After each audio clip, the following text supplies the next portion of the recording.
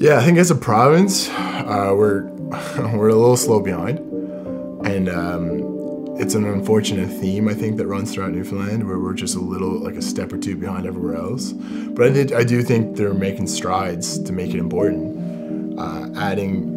It sounds silly, but like adding holidays just to take when you need a breather. I think those are vital. I think learning how to rest is unbelievably important and treating it as rest and not as you're doing nothing. I think those terminology does matter. Honestly, some of the obstacles I see are are the I think it's the mindset behind it, where people think you just have to shrug it off and keep going. And being uh, being like a male, you hear that a lot, where it's like just be a man, and I'm a horrible excuse of one. Uh, I one of the things they used to say for Dennis's thing was it's okay to not be okay. And I honestly kind of like to flip that to me. Like, I think it's more normal to not be okay than it is to be okay. And there's nothing wrong with either of it, as long as we can get to the place where seeking therapy and help is just as normal as getting a gym, going to the gym, or playing sports. I think that's when we'll start to catch up and hopefully exceed some expectations.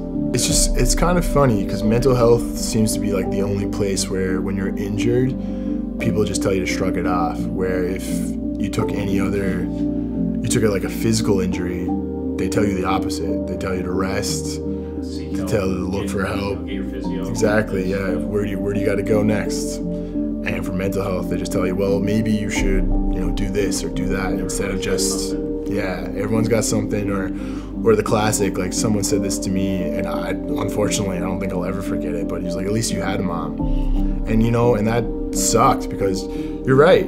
I, I, I am lucky that I had one, but it really sucks the loser too. So it'd be nice to be able to just understand that that portion of mental health is just because you can't see something doesn't mean it's not there.